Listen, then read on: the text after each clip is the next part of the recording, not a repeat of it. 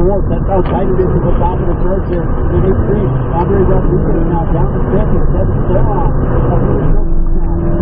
Moving in, down in the fifth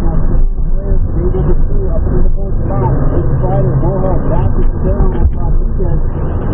Well now on the double